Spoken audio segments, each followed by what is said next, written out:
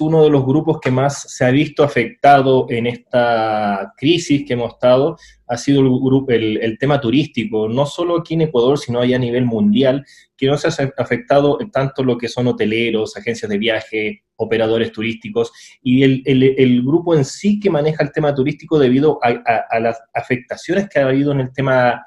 eh, por esta pandemia. Tanto sí que muchos si no casi la totalidad, en un 50, 60, casi 80% de la gente que nosotros conocemos que trabajan en turismo, guías turísticos, hoteleros, restaurantes, eh, y, en sí todo lo que tiene que ver en esto ha estado a punto de quebrarse, es que no, ha quebrado o ha tenido la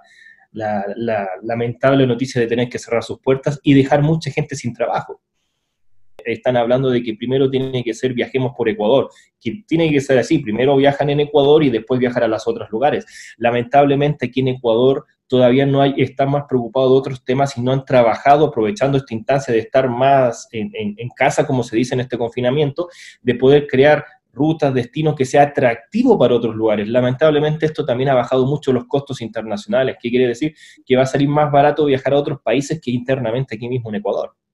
ministros de turismo, viceministros. Aquí en Ecuador hemos eh, tenido el privilegio de hablar con cada uno de los sectores de provincia, ya sean con autoridades, con gremios, con asociaciones de turismo, y, a la larga eh, la ruta que cada uno tiene es totalmente distinta. Vi hace, poco, la semana pasada, un par de días, que en, en Cotopaxi ahí estaban reuniéndose todos los que eran los, los operadores turísticos también, eh, hoteleros, restaurantes, eh, bueno, en sí todo lo que eh, abarca el tema turístico para reunirse con las autoridades, pero hay un, hay un como, yo le digo, hay mucho burocracia lamentablemente y no ven el bienestar que es en el corto y en el largo plazo que trabajen en conjunto. se tratan de unir, pero no llegan a ninguna instancia. Obviamente las autoridades ahora están trabajando en, cuidar el tema sanitario, el tema del el, resguardo de las personas, pero también hay entes, por decir, como tú dices, un Ministerio de Turismo que lamentablemente en Ecuador está ausente, eh, no, no, existe, no, no, ha brindado las ayudas correspondientes en el sector turístico. Eh, imagínate que el, eh, aquí un país cercano, Colombia, le, le, da un bono de 500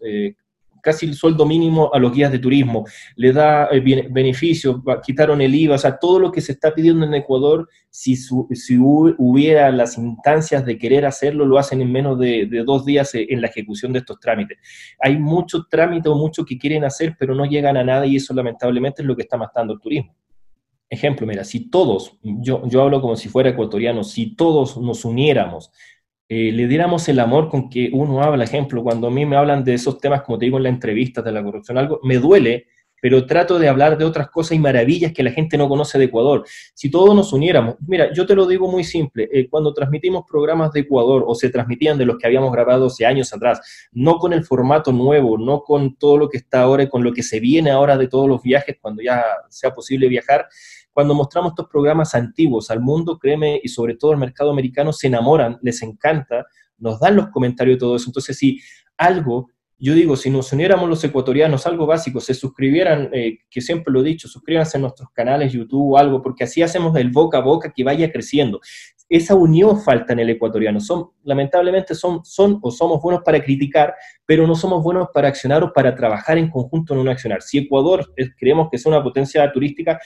Créeme que en uno o dos meses podemos limpiar la imagen. En vez de en las redes sociales que veo que comparten mucho críticas o malas cosas de Ecuador, comportamos lo bueno. Cuando hay cosas bien hechas o trabajos bien, sea desde el más pequeño hasta el más grande, en vez de apoyar, critican. O sea, imagínate que un me gusta, un compartir, haría que mucha gente en otros países del mundo lleguen y se conozca Ecuador. Se puede hacer una limpieza muy rápida de Ecuador, obviamente eh, ya temas internos como el tema corrupción, algo así, es muy difícil que lo podamos manejar nosotros, pero si nos trabajamos en conjunto, los ecuatorianos, que son mucho más que toda esta,